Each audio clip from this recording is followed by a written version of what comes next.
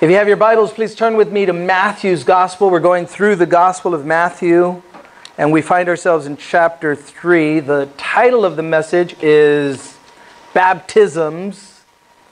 The Bible speaks of seven to nine different baptisms, and so as we're going to be looking at this baptism of Jesus, John the Baptist, in preparation for the Messiah and the new covenant and all that's taking place here historically. Before Jesus would even set out in ministry, we would see a baptism, and then uh, chapter 4 in Matthew's Gospel shows us the wilderness fasting of 40 days and being tempted by the devil. And then Jesus' ministry would take off from that point on. So just encourage you guys, uh, we're going through the scriptures verse by verse. A lot of new faces. Want to welcome you. Hopefully, um, you received an invite and you were faithful to accept it. So you are welcome. If you don't have a church home, we encourage you guys to to worship with us. We are a body of believers. Calvary Chapel Living Water uh, just set on watching God be glorified. And as we go through the grace and knowledge of His Word, just what a blessing to be able to grow through his word. And that's how the Bible declares we grow as Christians. Faith comes by hearing, and that by the word of God. Um, and interesting, as I was looking at the different baptism and reading different articles, man, there's a, a little confusion out there on, on what the Bible teaches. And it's the beauty of being able to study the Bible inductively helps, um, helps steer away from some of those false beliefs and false doctrines that are out there, believe it or not. If you study the Bible inductively through observation, interpretation, and application, and you allow the context of what the scriptures is teaching to be able to guide you, you're not coming with a preconceived idea of the Bible has to say this, or I heard that it says this, so let me see if I can justify that. No, that's not how we study the Word of God. We come to the Word of God and we let the Bible speak for itself in the context of what the Bible is declaring. And so there's one true interpretation for the scriptures, and that's God's. And it's up to us to dig and to search and to study. The Bible declares to show ourselves approved, a workman that need not be ashamed, rightly dividing the word of truth. And so it's kind of neat that you're able just to do this inductively and allow the scriptures to speak for themselves. Let God be true and every man a liar, the Bible declares. And so again, we just come to the scriptures, we allow them to speak for themselves. We're going to be in Matthew's Gospel chapter 3.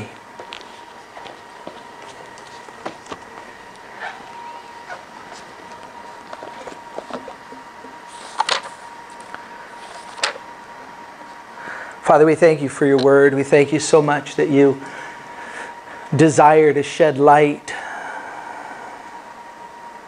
where there's darkness. And Lord, that light illuminates, it exposes, it reveals the truth of what you have to say. And Lord, you promise that you will lead us and guide us into all truth. And so I just thank you for this time that we have together. Thank you, Lord, that we can grow in the grace and knowledge of your word and an understanding of your heart for us. And so, Father, we pray that you would speak to us through your word. Bless this time as we offer it up to you in Jesus' name. Amen. So last week I was struck with COVID. I never got diagnosed. I've taken two tests and I have yet to receive the results. So I am the healthiest person in here. I can't give you COVID for another three to six months. That's what the CDC tells me, at least. I don't know how true that is. But for at least three months, I guess I cannot be contagious and I cannot give you anything. So I'm pretty happy about that. I tell people that I come to church to get COVID. I've had it twice, and I got it both times from church. And so we are a super spreader group, I guess. I don't know what to tell you about that. Um, but again, I just, when this whole thing started back 2019 and early 2020, I just got a word from the Lord, and He said, Hey, don't fear, just trust. And as we go through this together, it's, it's tough. And we know that people have gotten ill, we know that people have died, and we don't minimize it. Uh, anytime that I think I'm diagnosed, I stay home and I isolate. so I did that for another 10 days, and that's a very difficult thing for me personally because I love people and I love to be around people. And so last week, Joshua had an opportunity to share with you, and he shared um, out of just zeal, being passionate for the right things. And in that, he said that um, the Lord was placing upon his heart two areas of zealousness, and that was a love for God and a love for people. And so we need to receive love from God and be zealous about that, be passionate about that. Zeal and passion are synonyms. And so zeal is one of my favorite um, emotions, it's one of my favorite attributes that I see within people. But being zealous for the right things, having a zeal for the right things is very important as well. I've seen people be zealous for things that you just like shake your head and you wonder, like, wow, why'd you pick that one? But to be zealous for love and receiving that love that God has for us is a wonderful thing. And then being able to be a dispenser of that love. We're able to love because we've received that love. And so, is that my phone or do we know what that is? That's the second time. The board? Yeah. All right. Okay.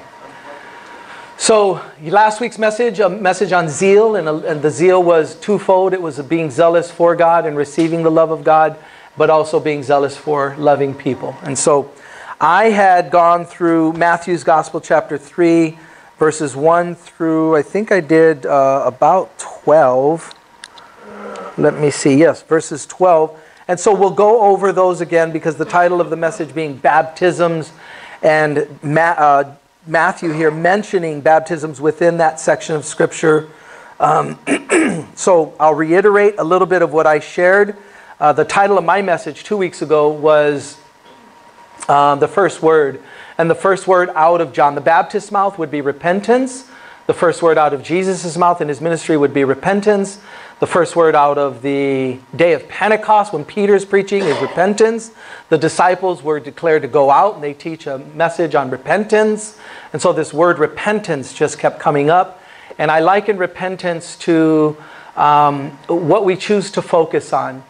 The Bible declares that we are saved by God's grace. There's nothing that we can do of a work to add to that. And so, is repentance a work? Some would say yes, some would say no. Is repentance required for salvation? I gave the picture of being in New York, of what repentance looks like, being in New York, and from New York coming to California. And it could be what we choose to look at. We can choose to look at coming to California and what that looks like, or we can choose to think about and be nostalgic and romantic about all the things that we're missing when we leave New York. And so, where's our focus? And that's kind of coming to Christ. That's becoming a Christian. In repentance, we're leaving our old life and we're coming to Christ in repentance. So we're now looking to Jesus. I have chosen from the very beginning to simply look to Jesus in my repentance. I don't care what has happened in the past as far as what I can be romantic and nostalgic about. All I remember is hangovers and drug addiction and ruined relationships, and God delivered me from that. So I don't get too nostalgic about, oh, I'm missing hangovers and I'm missing drug addiction and I'm missing ruining people's lives. I look more to what God has given me when I came to Christ and He gave me the ability to do what I always wanted to do, which is the greatest working definition of faith that I've ever heard. The ability to do what you know you ought to do. God gave me the power to do what I desired to do from the very, very beginning. And so, in that, my faith is and repentance is looking to Jesus. And yes, I've left the old life. I've left that life of sin that I used to live. But man, what I found in Christ is so incredible and it hasn't diminished, it hasn't uh, changed. It's just a wonderful thing. So we looked at that in repentance. Let's go ahead and take a look at Matthew's gospel. We'll read it from the beginning. Verses 1 through 12 are just a reiteration, and then we're going to look at these different aspects. And in this section right here that we're reading, that I already taught two weeks ago, there's a mention of three different baptisms, and we'll look at those because the title of the message is Baptisms. Matthew's Gospel, chapter 3 In those days, John the Baptist came preaching in the wilderness of Judea and saying, Repent, for the kingdom of heaven is at hand. John the Baptist's ministry is one of preparation for the new covenant. The Messiah is on the scenes. Let's get ready to hear the message of the, of the Messiah. And so it goes on, for this is he who was spoken by the prophet Isaiah, saying, The voice of one crying in the wilderness, Prepare the way of the Lord, make his path straight. Now John himself was clothed in camel's hair with a leather belt around his waist, and his food was locusts and wild honey. I mentioned that his diet and his dress were not a hindrance to the work of God that God had called him to. And so a little different, a little eclectic, John the Baptist, a little out there, if you will, but he was singularly focused on what God was calling him to. And so that's why it mentions his diet and his dress. Verse 5 Then Jerusalem, all Judea, and all the region around the Jordan went out to him and were baptized by him in the Jordan, confessing their sins. And so, again, it's just a preparation for the Messiah who is on the scene. Verse 7 when he, when, But when he saw many of the Pharisees and Sadducees coming to his baptism, he said to them, Brood of vipers, who warned you to flee the wrath to come? Therefore, bear fruits worthy of repentance, and do not think to say to yourselves, We have Abraham as our father. For I say to you that God is able to raise up children to Abraham from these stones. And even now the axe is laid at the root of the trees. Therefore, every tree which does not bear good fruit is cut down and thrown into the fire. And then notice he mentions these baptisms. I indeed baptize you with water under repentance. But he who is coming after me is mightier than I, whose sandals I am not worthy to carry. He will baptize you with the Holy Spirit and fire. He mentions three baptisms there. His winnowing fan is in his hand, and he will thoroughly clean out his threshing floor and gather his wheat into the barn, but he will burn up the chaff with unquenchable fire. John's baptism was a baptism of repentance. And I find it interesting because he sees the religious leaders and he says, Who warned you guys? Who warned you to come? Who warned you to, to come to my ministry and to get ready to receive this message? You better show fruits worthy of repentance. And I find it interesting because it sounds like John the Baptist is making the new covenant even more difficult than the old covenant. And the very opposite is true. But because they have a faulty foundation, he wants them to know you guys are messed up from the very beginning. And this first covenant, it's like a root. And the axe is laid at the root of these roots of Judaism. And God's going to start a whole new system with this new covenant as the Messiah is coming. And he's on the horizon, he's on the scene. So, this faulty, self righteous thing that you guys got working, you need to get rid of it and understand that this is a thing of God's grace. And so, again, I find that interesting because he's talking to the religious leaders, and it's almost like he's making it to let them know this foundation that you guys have is messed up. God's about to chop this system down, and we're going to go with a new system. But your system, your foundation is faulty. It's based on an outward show of what you're doing. And you guys have set up this religious system that God is not pleased with and God is about to whack the whole system. Again, that's just an interesting dynamic right there in and of itself. So the baptisms that are mentioned here, the three, are number one, John's baptism is a baptism of repentance in preparation for the Messiah. And that's not salvation, that's preparation. Just get ready. The Messiah has some good news that he's going to come and he's going to share. And you guys need to get your hearts ready to receive that. that that's John the Baptist. But and then he says there's one coming who I'm not even worthy to carry his sandals. Not to tie them, I'm not even worthy to carry them. And so I'm not worthy of the lowest slave's job to be able to carry this one's sandals. So in humility, John recognizes I'm not the Messiah. In John's gospel, um, they would question John, you know, who are you? Are you Elijah? Are you the, the foreteller? Are you the one? And he, John definitely knows who he is by, not, by knowing who he's not. He said, I'm just a voice crying in the wilderness.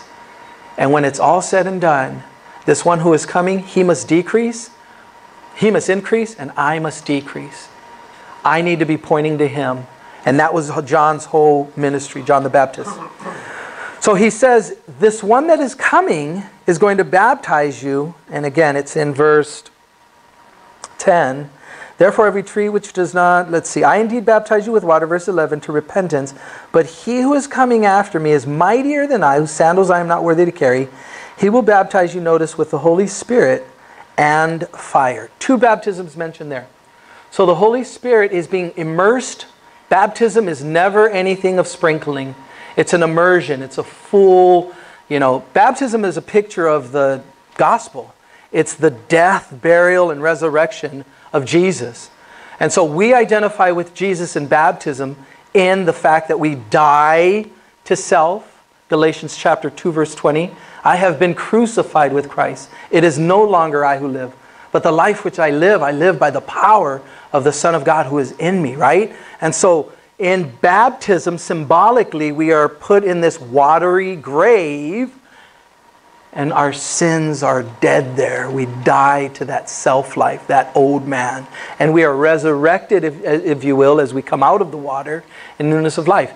Is baptism necessary for salvation? No. It's an outward show of an already inward work. If you or I have yet to be baptized as a Christian, we would have to ask ourselves, why? Why haven't you been baptized? I just haven't got around to it. Or there hasn't been an opportunity. Or ah, I never even really thought about it. It's an identification with Jesus. And he, we're going to see in chapter 3, was baptized to identify with us. How much more do we need to identify to be baptized? To identify with him. Okay? So baptism. It's it's a necessary thing, but it's not a required thing. It's an outward show of an already inward work. Something happened internally inside. We are born again when we become Christians, and then we identify with Jesus in baptism. Now, first century AD, baptism was a death march. You baptize, you were baptized as a Christian, and the next thing would be martyrdom. You would be killed identifying with Jesus, getting away from Judaism. And so, big deal back then. For us, it's just ah, identification with Jesus, okay? So he says, baptized with the Holy Spirit, immersed into the body of Christ. That's one baptism. When you became born again, you were immersed, baptized into the body of Christ. Jesus, the Bible says, is the head of the church, and we are his body. We are his hands and his feet. We are his listening ears and his mouthpiece. We are the body of Christ. We've been given gifts and God does his work through his body on the earth. And so he wants to use you, he wants to use me in the lives of individuals that we come in contact with as the body of Christ. And so we are baptized into the body of Christ according to the scriptures in 1 Corinthians. Now, it would go on to say that he gave some to be in Ephesians chapter 4, and then he names these different offices within the church. Um, evangelists, uh, pastors, teachers, for the equipping of the saints, for the edification or the building up of the body of Christ. And so you've been given a gift or several gifts to be used to edify or build up the body of Christ. And sometimes, a lot of times, that happens within the local church. That happens at the local church that you belong to. But oftentimes, it's just we're living our lives mostly out there in the world. And God has given us gifts to be able to use to edify the body of Christ, to build people up. For some of us, it's sharing the gospel and watching people come to the Lord. For some of us, it may very well just be a word of exhortation or edification or uh, correction or rebuke, shining light on somebody's difficulty that they're having in life through sharing scriptures and different things like that. And so you should know that you have a gift or gifts, and those gifts are to be used to edify the body of Christ. Now, he mentions this other one where he says you're going to be baptized in fire. And there's a lot of confusion about what that baptism in fire is. I mentioned it two weeks ago when I was sharing that the baptism of fire is as we go through difficulties, the Lord purges us. He cuts off the stuff that doesn't look like Christ. And so, as a Christian, when you gave your life to the Lord, this word or this work of sanctification began, where God was setting you apart to Himself and from the world. And he does that through circumstances. He does that through life. He does that through, unfortunately, suffering. And so you and I will be judged when we enter into heaven as Christians. What? Wait, what? You and I will be judged when we enter into heaven. We'll never be judged for condemnation as a Christian, but we will be judged for what we did with the life that God gave us. And so the moment that we gave our lives to the Lord, God has good works with your name on them according to Ephesians chapter 2 verse 10. The Bible says for we are his workmanship created in Christ Jesus for good works which God prepared beforehand before the foundations of the world. There are good works with your name and my name on them. And so he's gifted you so that you would take those very gifts that he's given you and walk in obedience to what he's calling you to do with those gifts. So I get this from, and this is interesting because as I was studying these last two weeks on this topic, People are very confused about this. And they want to say that this baptism of fire is a baptism, eh, just all kinds of stuff I was reading. And I was like, no, no, not at all. The totality of scriptures attests to what this is. Let me read it to you. It's found in 1 Corinthians chapter 3. Starting at verse 10, the Bible says, According to the grace of God which was given to me as a wise master builder, I have laid the foundation, and another builds on it. But let each one take heed how he builds on it, for no other foundation can anyone lay than that which is laid, which is Jesus Christ. Now, if anyone builds on this foundation with gold, silver, precious stones, wood, hay, straw, each one's work will become clear, for the day will declare it, because it will be revealed by fire, and the fire will test each one's work of what sort it is. If anyone's work which he has built on it endures, he will receive a reward. If anyone's work is burned, he will suffer loss, but he himself will be saved, yet so is through the fire. And so we're not going to be judged with this fire for condemnation. Jesus took our condemnation upon himself on the cross. So we'll never be judged for hell. We'll never be judged for condemnation as Christians. He bore that on the cross for us. But we will be judged, and there should be a motivation there. Well, yeah, I just kind of like, I'm a private person. I just do me, and I don't really like to, you know, I don't like my religion or my Christianity to kind of be out there in the public forum. It's the only reason God saved you and kept you here.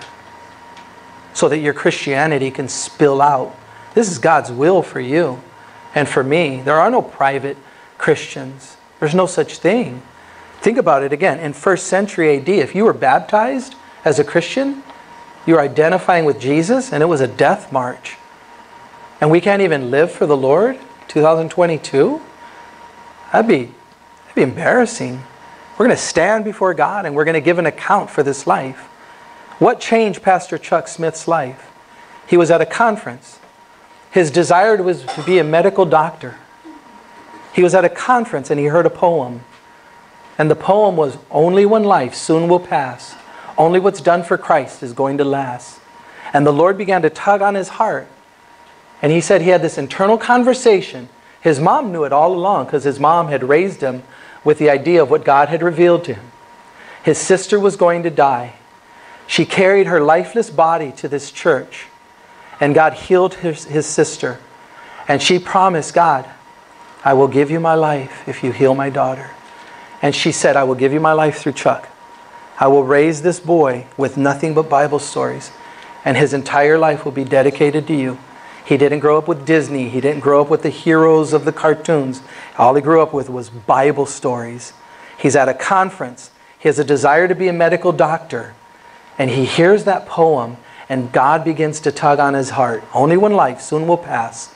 Only what's done for Christ is going to last. And God began this conversation internally with Chuck.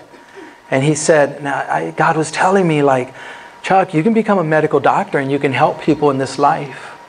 Or you can become a pastor and you can help people for eternity.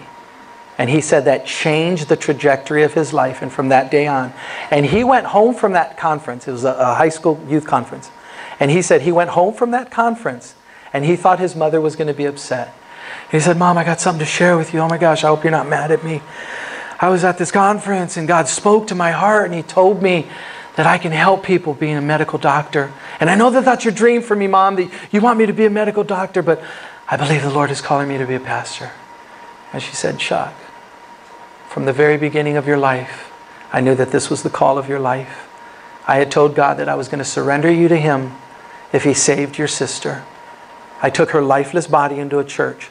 The pastor prayed for him and raised your sister up, and I committed you to God from that moment on. So, son, this is a fulfillment of my prayer for you. And so his whole life was given over to eternity and eternal things. And he has seen many, many come to the Lord.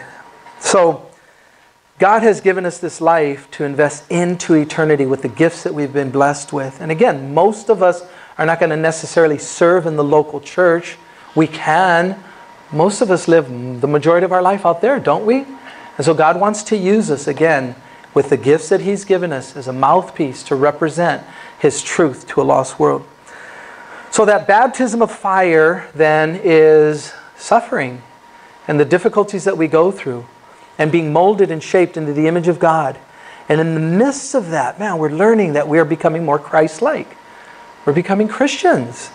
We're becoming what God wants to make us into, transforming us from the inside out. And every single one of us should be experiencing that. Every single one of us should be experiencing a transformation as Christians from the inside out. Let me read you some of the others and then we'll close with this last section in Matthew's Gospel. So we have water baptism. These are the nine that I was able to kind of come across. Water baptism, we see that with John the Baptist. We have water baptism, Jesus and the disciples. Those are throughout the Gospels. We have this baptism of suffering that I mentioned, water baptism in the name of Jesus. I found that one interesting. In the book of Acts, there's a group that were uh, baptized in the name of Jesus. There are churches that call themselves in the name of Jesus only. Uh, the Great Commission, found in all of the Gospels and the book of Acts, but the one that we're familiar with is Matthew chapter 28. Go into all the world and baptize them in the name of the Father, the Son, and the Holy Spirit. And so, teaching them to observe all things that I've commanded you, and lo, I am with you. Um, baptism is immersion, as I mentioned. It's full immersion, it's never been sprinkling. And however you're baptized, whatever formula, um, again, baptism isn't a saving element, it's just an obedience to what God is calling you to. And so, if you either were baptized in the name of Jesus only or in the name of the Father, Son, Holy Spirit, then uh, whatever flavor floats your boat. I believe that it's Matthew 28, Father, Son, Holy Spirit. Um, but that's how I baptize. I baptize according to the obedience to the scriptures and what the Bible says. Um, but there's, again, some that hold to this Jesus only baptism. Uh, baptize them in water with the Holy Spirit. We'll end on that one. Baptize into Moses was an interesting one. 1 Corinthians chapter 10, verses 1 through 4, we see that the nation of Israel was baptized into Moses' ministry, where the cloud, the pillar of the cloud, uh, the pillar of fire that led them in the wilderness, and that was immersed into Moses' ministry. Uh, baptism for the dead. An interesting, obscure scripture in 1 Corinthians 15 29. Paul would take this random practice that was taking place coming out of, again, Babylon and just a weird practice that was being done. And he mentions it there. Um, and I think baptized into Christ, I mentioned that one. I think those are the nine I have. So let's look at this water baptism that Jesus is now identifying with us as humanity. This is very important. In fulfillment for Isaiah chapter 53, Jesus now is going to fulfill the scriptures here. Verse 13, Matthew's Gospel, chapter 3. Then Jesus came from Galilee to John at the Jordan to be baptized by him. And John tried to prevent him, saying, I need to be baptized by you, and you are coming to me. John recognizes there is no sin in Jesus. He recognizes his sinfulness and his need to be baptized to Jesus, but yet Jesus is coming to him, and so it's throwing John off. But Jesus answered and said to him, Permit it to be so for now, for thus it is fitting for us to fulfill all righteousness. Then he allowed him. And again, I believe that this is in fulfillment to Isaiah chapter 53. He was numbered with the transgressors, the Bible says. And so he's identifying with sinful humanity. Having no sin of his own, he is going to represent us on the cross. And that's what Jesus is doing here. Verse 16 When he had been baptized, Jesus came up immediately from the water, and behold, the heavens were opened to him, and he saw the Spirit of God descending like a dove and alighting upon him. And suddenly a voice came from heaven saying, This is my beloved Son, in whom I am well pleased. And so, out of fulfillment of what needed to take place, Jesus is identifying what, uh, with us, sinful humanity, in his baptism.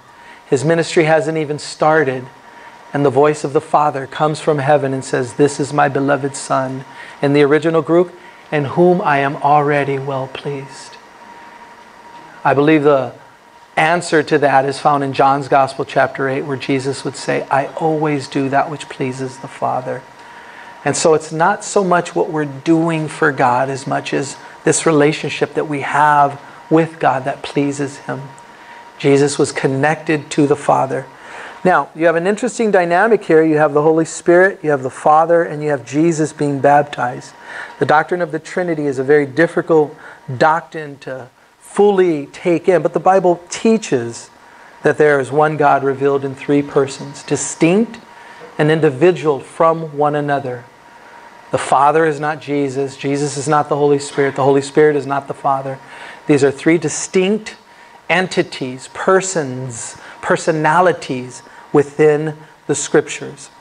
And we can draw a lot of conclusions, but I think the greatest conclusion that we can draw from the doctrine of the Trinity is the self sufficiency of God. And this is a very important thing because we live in a very, very confused world. Maybe you've heard messages or you've heard stories like, you know, heaven is just incomplete without so and so being there. As if God needs so and so. Fill in the blank. And that so and so could be me or it could be you. Nothing could be further from the truth. God was perfectly joyful and content in all eternity past. Father, Son, Holy Spirit, dwelling in perfect unity, complete and fulfilled and satisfied in one another. The Trinity needed absolutely nothing. The Bible declares that we need God. God does not need us. And that is an assault on humanity today. We somehow think that God is in need of something. And today I see people shaking their fists at God and having the audacity to question God. God needs nothing. You and I were created, the Bible says, according to Revelation chapter 4, we were created for His good pleasure. And here's the secret to life you live in conformity to bringing God pleasure, and you receive in return pleasure because God will be a debtor to no man. You were created to bring God pleasure, bring God pleasure, and live a satisfied, fulfilled life. Live outside of that and live miserably. And so I think that's a very important understanding for us to understand, to take into consideration. God doesn't need us. God created us for His pleasure. When we live in light of living for God's pleasure, we in turn receive incredible pleasure. And so the doctrine of the Trinity. Let's pray. Father, we thank you so much for this incredible plan that you have. And we thank you for your nature, for your character, Lord, for who you are, the self sufficient one, the all satisfied one. I thank you so much, Lord, for this incredible plan that you have to desire to spend eternity with us, to give us a life, Lord, worth living. A quantity of life, a quality of life. That is what everlasting life is. We can live out eternal life here and now as we experience in the abundance that you have for us. And Lord, it's a journey, it's a process. And it begins the moment that we surrender our hearts to you. It begins, Lord, the moment that we acknowledge you as the God of the Bible, the creator of the universe. And we begin this relationship with you. So thank you so much for the work of your Spirit, Lord. Thank you for the simplicity of the gospel, you taking our place upon the cross. Because in and of ourselves, Lord, we fall short of your glory, the standard of perfection. And so thank you so much for who you are, what you've accomplished, and what you desire to do in and through our lives. Lord, may we surrender and trust that you have an incredible plan for your glory. In Jesus' name, amen. Do me a favor, let's stand for this last song, please.